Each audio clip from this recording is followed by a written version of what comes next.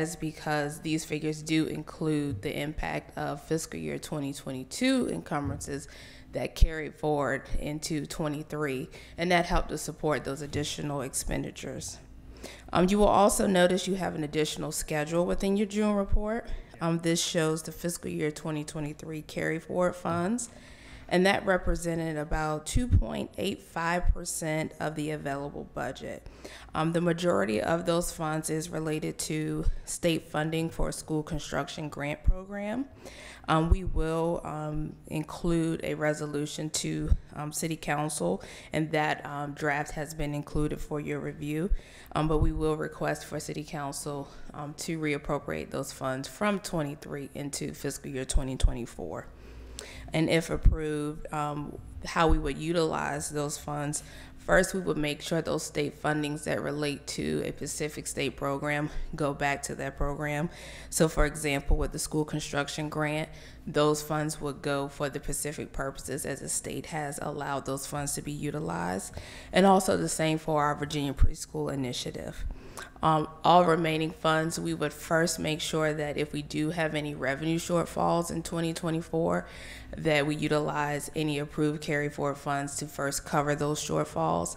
And if we don't experience them or if they're less than what we anticipated, we will then request to utilize those funds for one-time expenditures. And that information will come to the board as part of our monthly board reports throughout this fiscal year. And as always, you have a list of transfers to and from the technology classification for June of 2023. And all of the numbers within this June report are actually unaudited at this time. So between July and September, we have an external auditor come in and they review all of our um, transactions that we report out. And if by chance there are any changes that come from that audit, I will come back to the school board to present revised June figures. And that concludes tonight's board presentation or board report. Questions from board members, comments? All right, thank you. Haynes. Mr. Chair, there are no further reports from the superintendent. All right, well, thank you very much. Next item on the agenda is items for deliberation, first read. We have 5.01, revision of school board policy JECB, admission of non-resident students. 5.02, revision of school board policy JFCF, wellness policy on nutrition and physical activity. 5.03, revision of school board policy J, JGB, prohibition of bullying. 5.04, revision of school board policy JGD, student short-term suspension. 5.05, revision of school board policy JGDA, disciplining students with disabilities. 5.06, revision of school board policy JGE, student long-term suspension or expulsion. 5.07, revision of school board policy JGEA, admission of long-term suspended or expelled students. And we'll start with the first two, and they are held with Ms. Branch. Welcome back. I should have stayed up here. No. All right, for policy JECB, admission of non-resident students, um, just one change on page two. Uh, we changed the language to make sure that it was um, the same as the revised calculation for the out-of-district tuition costs, um, which is based on our um, local per pupil account. So that has been updated to reflect um, that revised calculation formula. And that's the only change for that policy. Then moving to policy JFCF, the wellness policy, nutrition, and physical activity. Um, this was a five-year review, and um, the updates um, they look extensive, but a lot of this was a lot of rewording um, that was required by the Virginia Department of Education to make sure that our wellness policy was in um, I don't want to say compliance, but um, in congruence with the guidance that VDOE has set out. Um, this policy actually is a collaboration between um, our Food Nutrition Services Department, Physical Education, and Health Services. And we also have a School Health Advisory Board, or what is called um, SHOB, and that is uh, made up of not only our internal um, staff here in Hampton City Schools, to include our directors of those specific departments, but also teachers and students, but then also community members as well. So um, they all have went through and looked at this policy, and those revisions are um, included throughout um, as presented in BoardDocs. And again, much of this policy is around rewording and really providing some clarification and consistency with VDOE. And this process, um, again, is required because our, as part of our federal review of our food and nutrition services um, department, they look to make sure that our wellness policy is in um, compliance with um, VDOE. Any clarifying questions? All right, thank you. Next.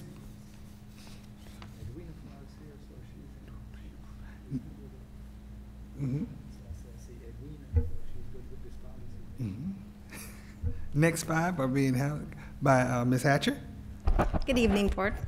I am sharing tonight policy JGB, and these updates um, are really related to VSBA, but more importantly, the Code of Virginia. So that is our prohibited uh, bullying, and that number of uh, notification was changed to 24 hours. Previously, it was five days that school staff would reach out to families, so now that is 24 hours, and that is for um, someone who reports that they've been bullied or the person who is accused of bullying. Um, in our next policy, you will see really JGD, JGDA, and JGE. Um, all of those policies have similar updates. They are um, related to VSBA updates and also some references to the Code of Virginia. And I'll just highlight a couple of those things, and it they do look extensive, but again, this language is coming straight from the code in some cases as you look over those. But language was changed to match the code um, on some criminal charges that young people may have reported to us. And the really, this is talking more about how law enforcement will inform us, but those are changes to all three of those policies. And then language is also added that um, says that we will have in our procedures and processes a way for students to access graded assignments uh, when they are suspended and upon their return, so that instructional piece would be complete for them. And finally, policy JGEA, admission of long-term students suspended or expelled. Again, that language is changed just to reflect the use of the code. Um, we had ha had the similar language in there, but we are just taking it straight from the code so there would be no misinterpretation about that policy. Any clarifying questions for Ms. Hatcher? Mr. Samuels?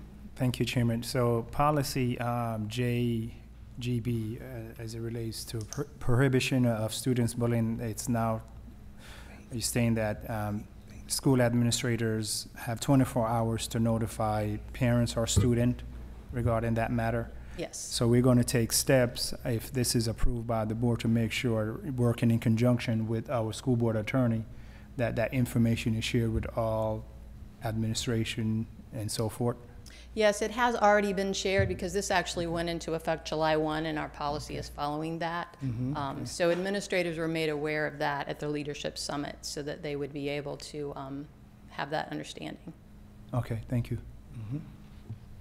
All right, any other clarifying questions or comments? All right, thank you very much. So next item on the agenda is item number six, hearing of any delegations or presentations of any written communications or petitions. And we've received three, so Ms. Bowers, would you please read the protocol? Citizens are invited to address the school board on matters of public concern about the school division. Speaker forms are available prior to the start of the meeting. If you wish to address the school board, please complete the form and give it to the clerk by 6:45 PM on the day of the meeting. Each individual will have three minutes to speak. At the end of your time, you will hear a buzzer. All comments shall be directed to the school board. Speakers may not yield their time to another. Speakers should address the school board with decorum on policy issues. Comments shall relate to agenda items or matters germane to the business or duties of the school board. Speakers comment on individuals at their own risk of violating confidentiality laws and are defaming the subjects of their comments. Neither the school board, the superintendent, nor the school administration will respond publicly to any comments by speakers about individuals. Presentation of resolutions, declarations, proclamations, manifestos, awards, or other similar documents not originated under the auspices of the school board or administration is prohibited during the public comment period. The audience is asked to be respectful of all speakers. Public comment is the school board's opportunity to listen to the speaker. Since our purpose is to hear from you, the board will not engage in dialogue with the audience or whomever is at the podium. Matters requiring a response will be directed to the superintendent for research and response. The superintendent may report back on such matters at a subsequent business meeting session as appropriate. The school board carefully considers your comments as we decide matters that are brought before us. We appreciate your attendance and your input. All right, thank you very much, Ms. Bowers. Our first speaker tonight is Celeste Miller.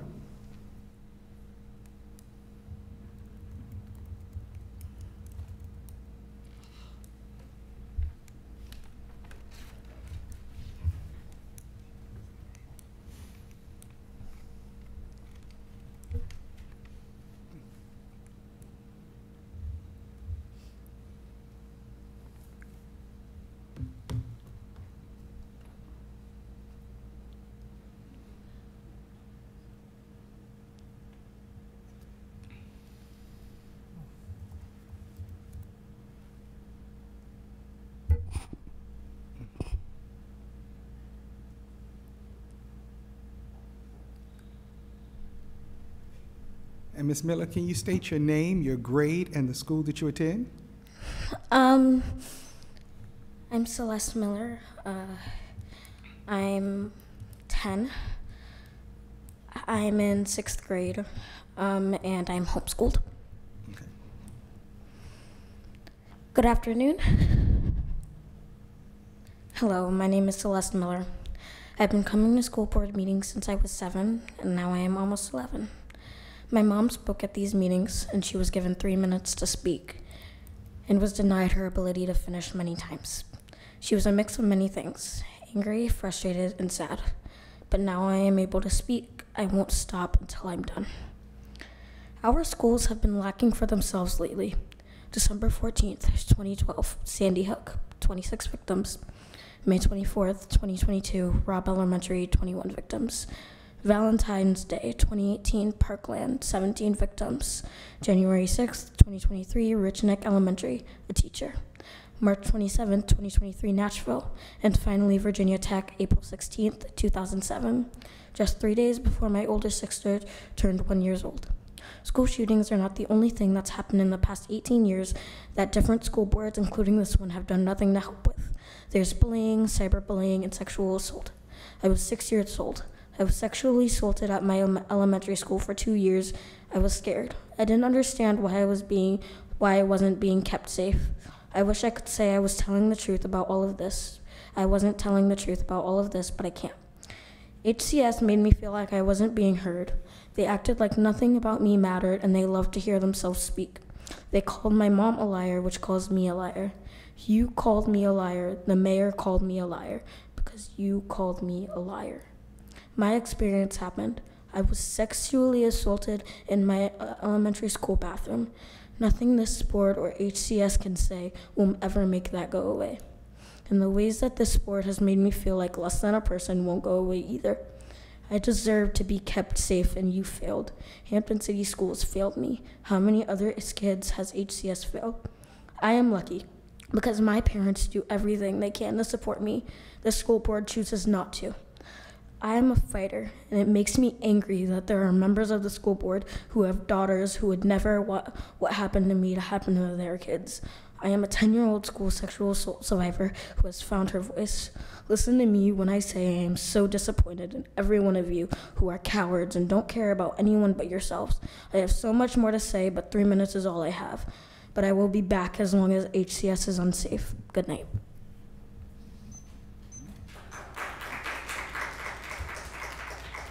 Next up, we have Steve Shapiro.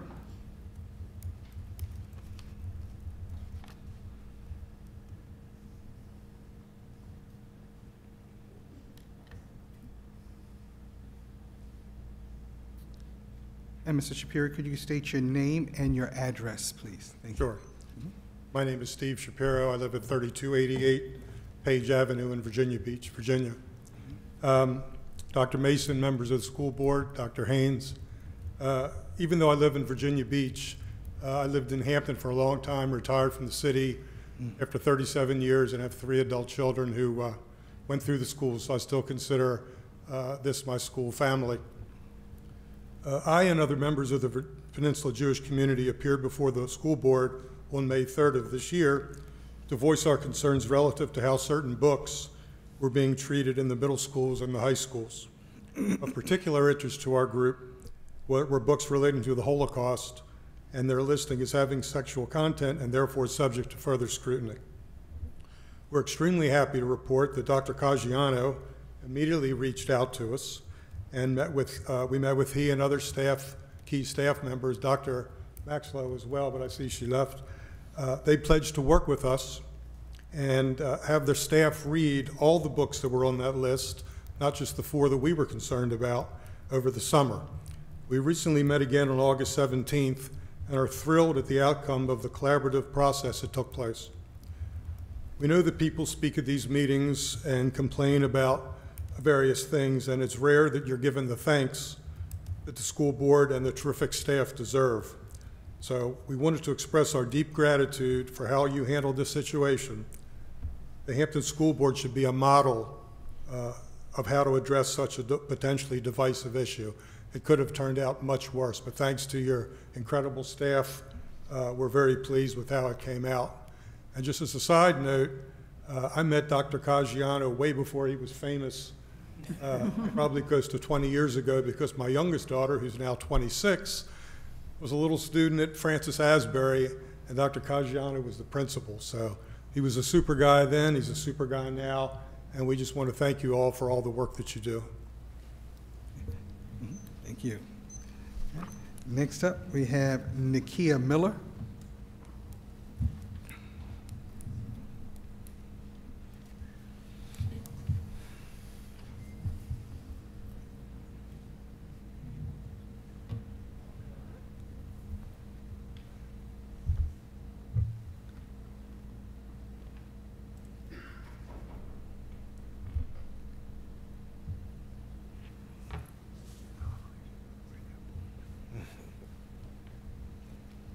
Ms. Miller, can you state your name and address, please, for the record? I'm not stating my address. My name Miller- is Nakia Miller. Ms. Miller, Ms. Miller, the policy indicates that you shall give your address as a part of public comment. I've never done that before. Ms. Miller, according to our policy, it indicates that adults. My address is on the paper. Adults shall identify themselves by name and address, is according to the policy as we move forward. Christ Jesus. 910 Quash. Thank you, Ms. Miller. Anyway, there are a few times in my life where I have felt like I'm at a loss for words. The variables normally fall into one of two groups. One, in times of extreme happiness, or number two, in times of extreme frustration. When dealing with the Hampton School Board, my feelings have normally been the latter. To sit in this room, even today, as this body fawns all over itself to pivot anti bullying procedures enacted by state law as someone who was terrorized as a child, as a student in HCS, frustrates me to no end, especially to have needless conversation. 10 year old Nakia wants to tell you, it took you long enough. 17 year old Nakia wants to yell, you never cared before this became good press. It is unfathomable how my childhood self will never be able to reconcile abuse to receive or abuse received in a school system that never cared about anyone but their own self-preservation and how that same sentiment lasts to this day. In the last year, I have witnessed behavior from the majority of this board that I would not accept from a toddler. I have been threatened by its executive and the previous vice chair and have witnessed its members use public forums to excuse themselves from doing the right thing. Three men sat behind a table and called me and my daughter liars. Some of you have daughters. You never, you never want to hear the word sexual assault to come through the phone at you from the principal of their schools, elementary, middle, or high school. But when faced with providing remedy for my child, those words ring hollow. For each of you, especially for those of you who call God every time you speak and use your faith to validate you being good people, your actions only define your lack of ethics and morals while you hide behind Bibles. Your actions have lifelong consequences. The actions you take affect our children's our children and it continues forward as they grow. They will remember not only what you did, but how you made them feel. Those who are on this body who call themselves child therapists should know that. Over these painful years, I not only recognize my daughter's unwavering and undeniable strength, but I recognize that her voice can't be silenced. She's amazing. She's intelligent, introspective, and everything a mother could hope her for her child to be. Next item on the agenda is number seven, information, seven point zero one. The next meeting of the Hampton City School Board will be a work session on September twentieth at the Rupert Sargent Building. And then our next regular meeting will be held right back here at Jones uh, Magnet Middle School on October the fourth. Seven point zero two, other items for information. Mr. Superintendent? Thank you, Mr. Chair. Last week, on Monday, August 28th, we welcomed nearly 20,000 students back to school for the 23-24 school year. It was a successful day as well as an outstanding week. I had the privilege, along with our city manager, Mary Bunting, Police Chief Jimmy Weidman, Deputy Chief Kenny Ferguson, School Board Chair Dr. Richard Mason, School Board members Joe Kilgore and Jason Samuels, and several DLT members to greet our school bus drivers in attendance as they headed out on their bus runs for the first day of school. Then visited all 32 schools and centers within the first four days. The energy was extremely, was extremely positive and upbeat. We are definitely looking forward to a successful school year with a focus on excellence with intentionality. Next, Amazon donated 144 backpacks filled with school supplies on August 31st. The backpacks will be distributed to all schools with many of the other supplies donated from our community partners. It was absolutely a wonderful time, um, definitely visiting each of the schools on, on the first week. Uh, Anyone else? Other comments, uh, items for information? All right, hearing no other information and no other business to be brought the- before this board, I declare this meeting adjourned.